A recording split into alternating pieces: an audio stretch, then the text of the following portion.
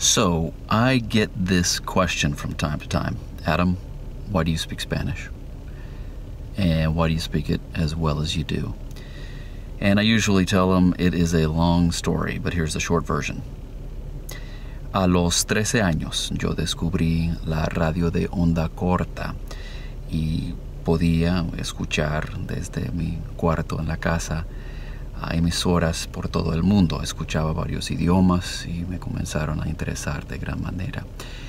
Y después saqué mi licencia, unos, eh, unas semanas después saqué mi licencia de radioaficionado para poder transmitir y así hablar con, con la gente, con estas emisoras por todo el mundo especialmente aquí en las Américas, escuchaba muchas voces en español y yo quería saber qué decían.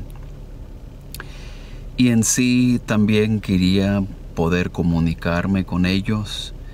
Yo sentía que si pudiera hablar español yo podría compartir más, descubrir más y, y es así, cuando alguien habla otro idioma tiene la habilidad de compartir y conocer otra cultura.